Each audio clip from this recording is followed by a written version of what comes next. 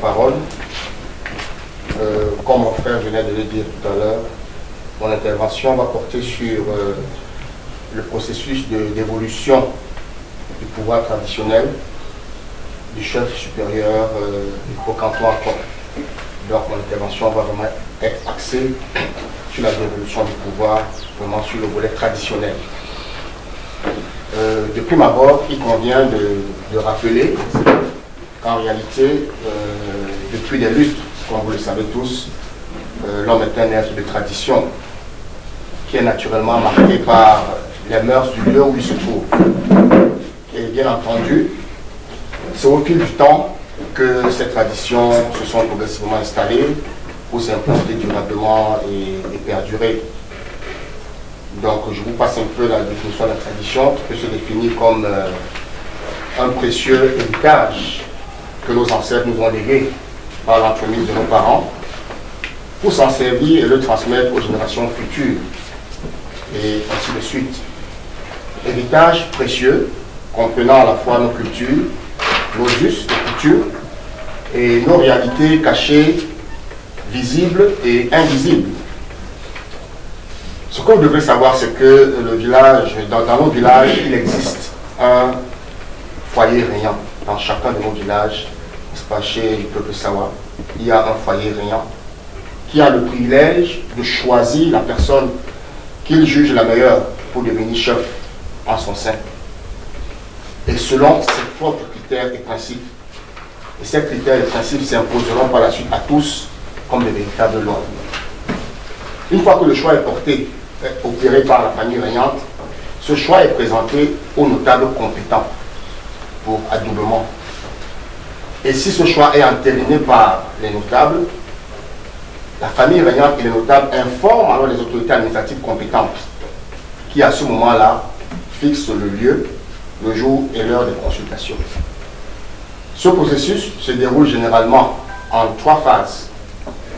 Il y a la phase préliminaire de présélection, il y a la phase de consultation administrative et enfin, il y a la phase de la désignation. Je vais tout à l'heure vous développer ces trois phases, mais permettez qu'avant d'entrer dans euh, le fond de ce sujet, que nous vous fassions un peu un rappel historique de, de grande date, n'est-ce pas, euh, relative à ce processus de succession. Premièrement, le 8 décembre 2020, comme vous le savez, euh, Sa Majesté Yindika Akwatoua s'en est allé pour le grand voyage à l'hôpital général de Douala. Ce décès a donné ouverture à vacances, n'est-ce pas, à la tête de notre chaufferie. Et selon la coutume, la famille régnante dispose de deux nouvelles pour présenter un nouveau chef.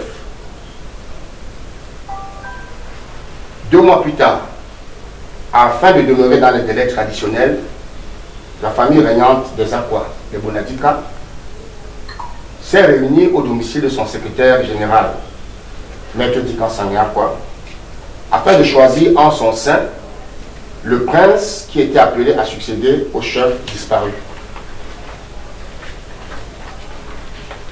Le 13 février 2021, le choix de la famille régnante Bonadika s'est porté sur le prince Gabé quoi, Jean-Pascal. Vous pourrez consulter par le PV du 13 février 2021 qui confirme ce que nous sommes en train de dire. Le 21 février 2021, une réunion bilatérale entre les chefs de foyer de la famille régnante Bonadika et la notabilité de Moneleke s'est tenue, au cours de laquelle comme le veut justement le principe que nous avons énoncé, le dit prince, dont en l'occurrence à Jean Pascal, a été présenté par les chefs de foyer Bonadica, cinq chefs de foyer sur sept. Puis, il a été adoubé par les notables de Bonileke, 10 notables sur 11 à l'époque.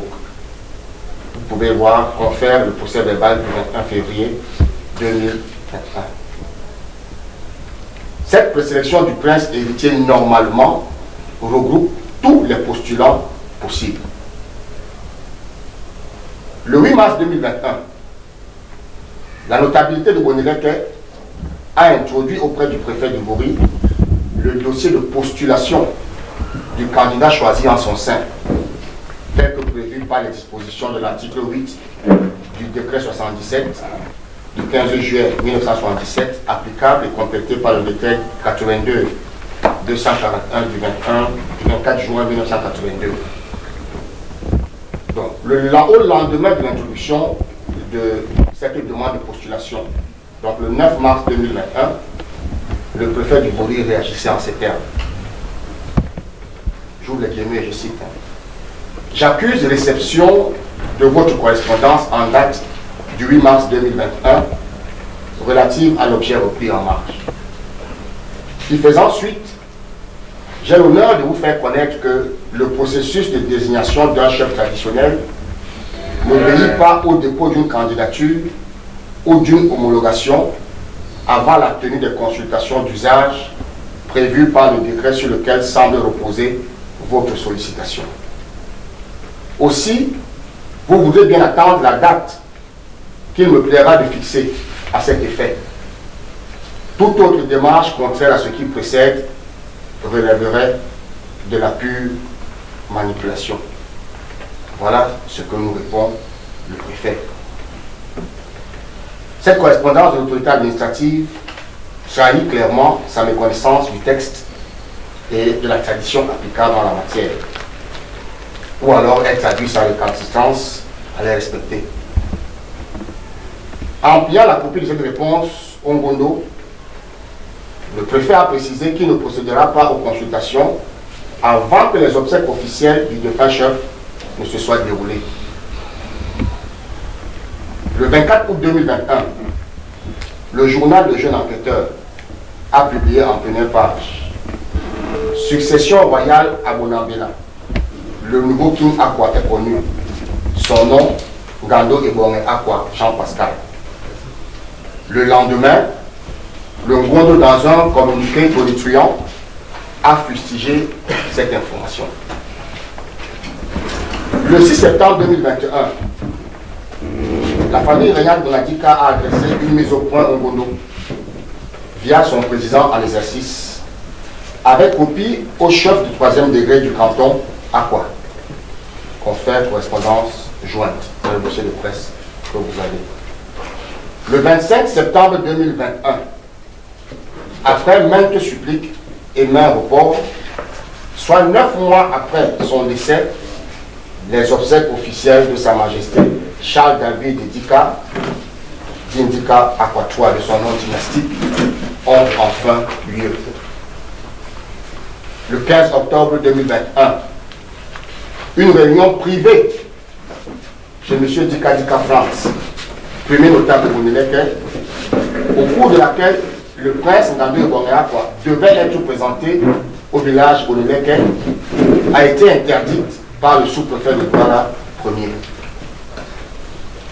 Le 18 février 2022, par message porté, le préfet du Bouri a annoncé enfin les consultations pour le 15 mars 2022 il était important que vous puissiez avoir ces grandes dates et que vous compreniez un peu la machination qui se préparait et, n'est-ce pas, l'imposture qui est en train de se construire progressivement au regard des différentes réactions qui ont été reçues par l'administration et qui étaient contraires à notre processus euh, de notre, notre principe d'évolution du pouvoir traditionnel.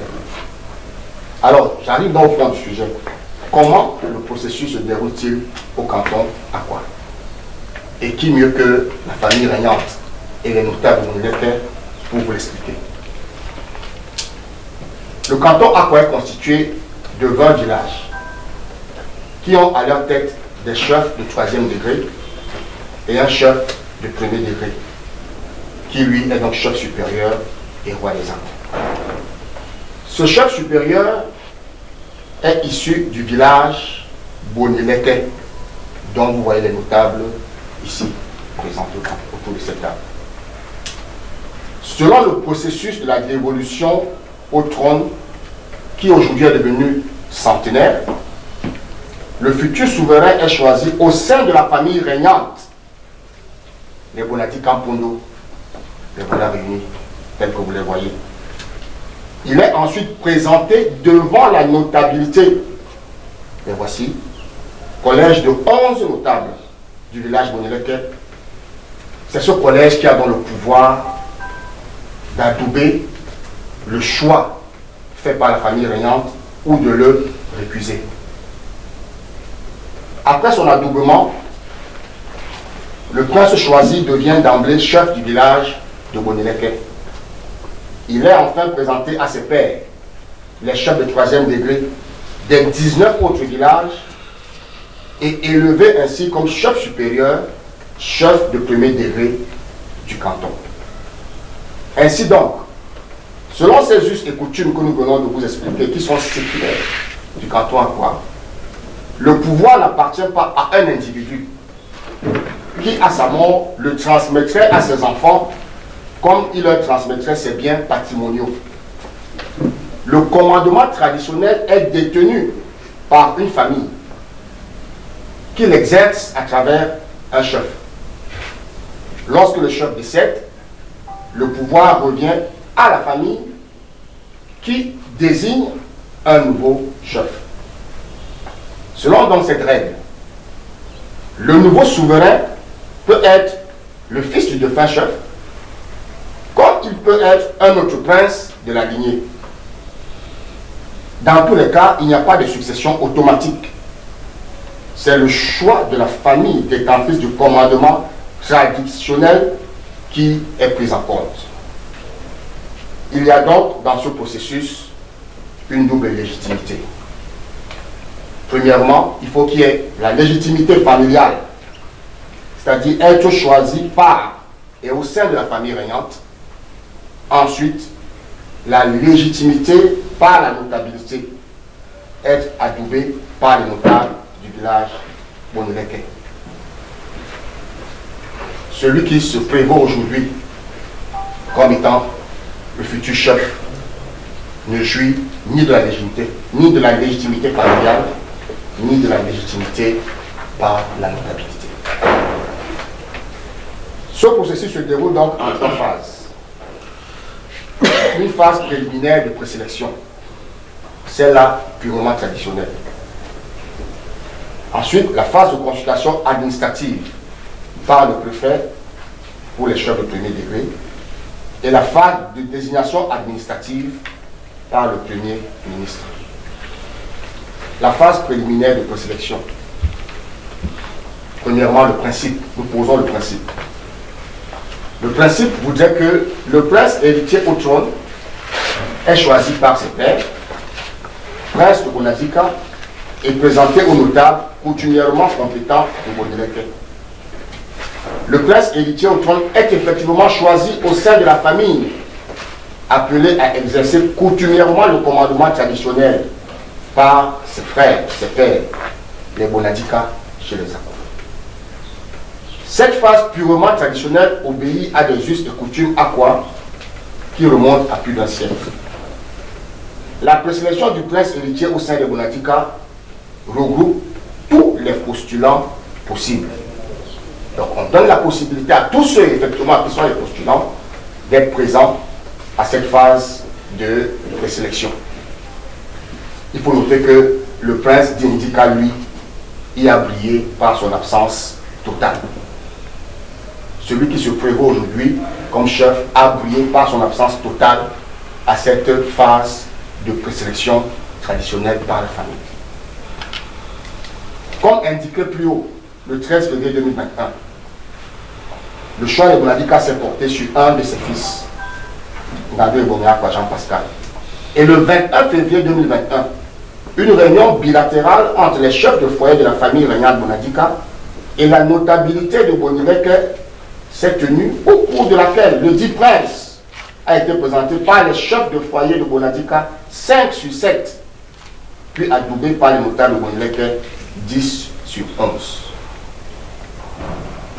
La violation au principe. Dindika, lui, s'est volontairement abstenu de participer à cette phase de présélection vous convenez avec moi que dans ces conditions, il n'a donc pas pu être choisi par ses pairs. les autres princes monadiques. Dès lors, sa candidature formulée pour la toute première fois aux consultations présidées par le préfet du Bourri le 15 mars 2022, c'est à que tout le monde découvre qu'il était candidat à la salle des fêtes d'Aqua. Une telle candidature ne peut donc pas prospérer. Normalement, elle devrait être déclarée irrecevable. La phase de consultation du 15 mars 2022, maintenant c'est la phase de consultation dans la deuxième étape. Le principe, comme indiqué plus haut, la famille appelée à exercer coutumièrement le commandement traditionnel compétent à la chefferie supérieure des Aquas est la famille Bonadica. De même, les notables coutumièrement compétents à la chefferie supérieure des Aquas sont les notables du village Bonileke, érigés en collège de 11 notables représentant les 11 familles de ce village. Les violations au principe. Le préfet du Bourri, lors de ses consultations, a formulé à sa guise une certaine tradition dite bantou, selon laquelle le fils succéderait ipso facto au père et que dès lors, Sœur Dindika, lui, doit succéder à son père, le défunt chef d'Ikachal David. Cette tradition dite bantou n'a aucun fondement légal par rapport à la coutume quoi Et ne saurait se justifier par une jurisprudence constante des traditions quoi En ceci que Dindika, lui, est appelé par l'autorité administrative à succéder à son père, Dika David, alors même que ce dernier, donc Dika David, a succédé au devant chef Ernest quoi qui n'était pas son père. De même, le chef Ernest quoi a succédé au chef Ernest quoi qui n'était pas son père. Tout ce qui précède corrobore alors le principe consacré de présélection du prince héritier par ses pères Bonadika. Comme indiqué plus haut, Dindika, lui, n'ayant pas été présélectionné par ses pères, les autres princes Bonadika, sa candidature devait être jugée irrecevable. Fort curieusement, cela n'a pas été le cas. Et vous comprenez tous pourquoi. Par ailleurs, le décret de 77 ne prévoit pas la présence des chefs de troisième degré aux consultations.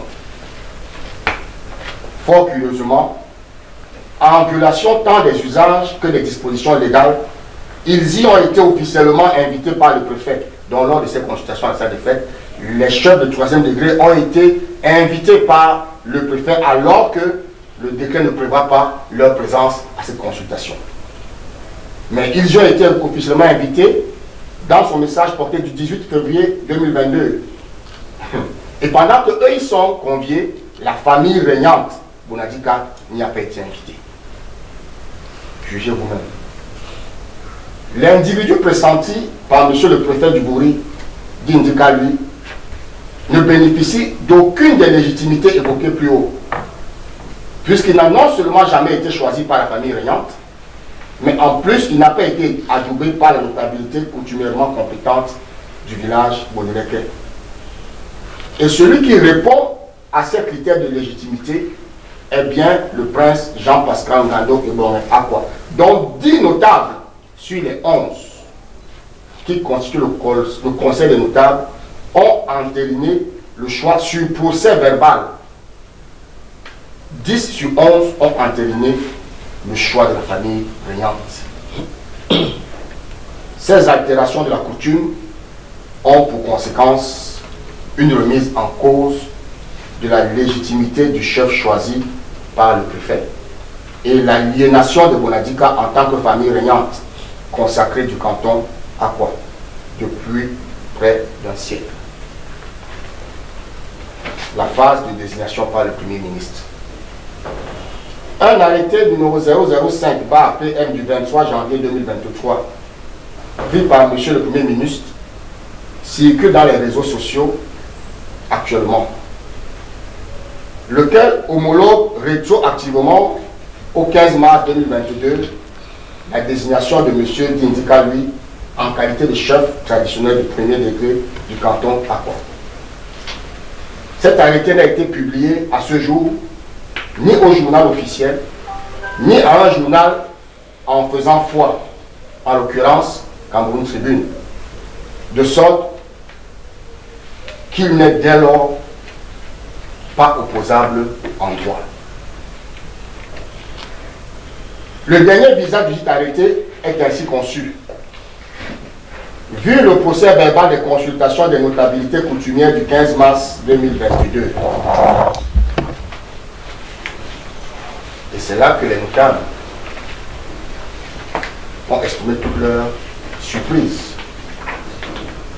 de voir que l'arrêté s'appuie sur un procès verbal de consultation des notables alors que les notables du village Moneleke ne reconnaissent jamais avoir siégé, s'être assis pour faire une désignation de ce genre.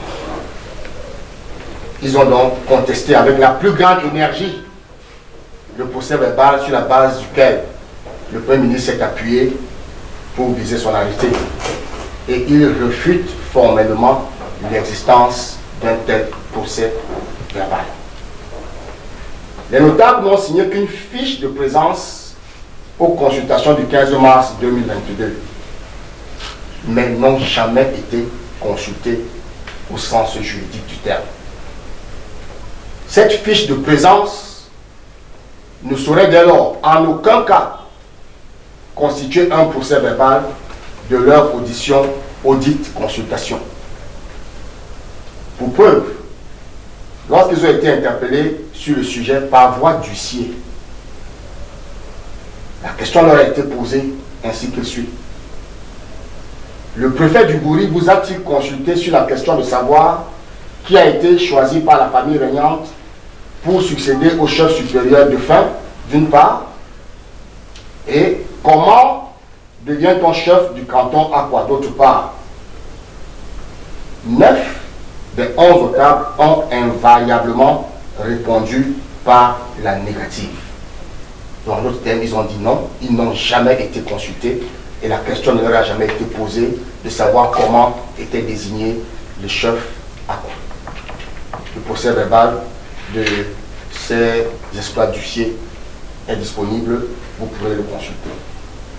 Ces neuf notables sur les onze composant le collège ont d'ailleurs, le 15 mars, dû quitter la salle de réunion où se déroulait cette pseudo-consultation pour marquer leur désapprobation sur le déroulement des travaux parce qu'ils ont constaté effectivement qu'ils n'étaient que des faire valoir. Ils ont été invités, mais uniquement pour faire de la figuration. Mais en réalité, leur présence ne servait à rien. Et ils ont donc quitté la salle devant tout le monde ce jour-là pour marquer leur désapprobation par rapport à ce qui est en train de se passer. La question est donc, qui a donc signé le procès verbal des consultations des notabilités coutumières auquel l'arrêté surpris fait allusion? Il faudrait qu'on le sache. L'article 11 du décret 77 en vigueur dispose. Les notabilités coutumières compétentes sont obligatoirement consultés, obligatoirement consultés pour la désignation d'un chef. Y aurait-il donc des notabilités coutumières autres que celles compétentes? De Bonileke